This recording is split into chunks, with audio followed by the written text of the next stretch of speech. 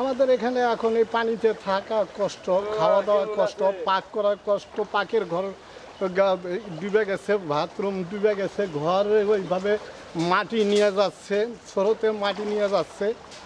খুব অসুবিধায় আমরা।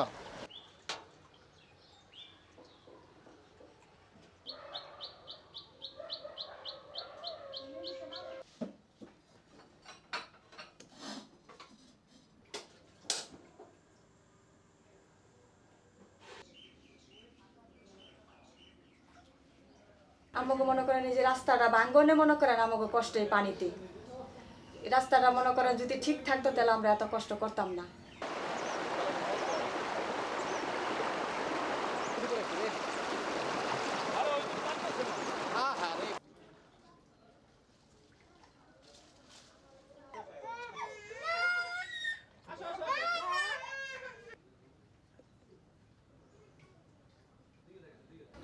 সমস্যা যে ছাগল লয়া ঘর- দুয়ারে পানি আর রুজি রোজগার নাই, কাম কাজ নাই, আর ঘরে বসে মারতে আছি